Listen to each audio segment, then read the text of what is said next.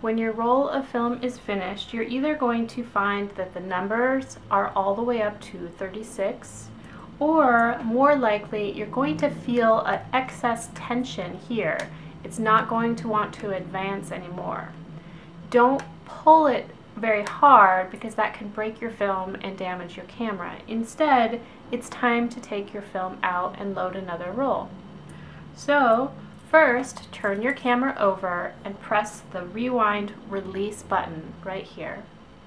So you'll press that button in and I actually like to hold it while I'm rewinding my film. Then follow the arrow and simply roll the film all the way back into the film cartridge. You'll feel it get a little bit looser when it's done and then you can open the film camera back and there is your film all tucked inside of your canister.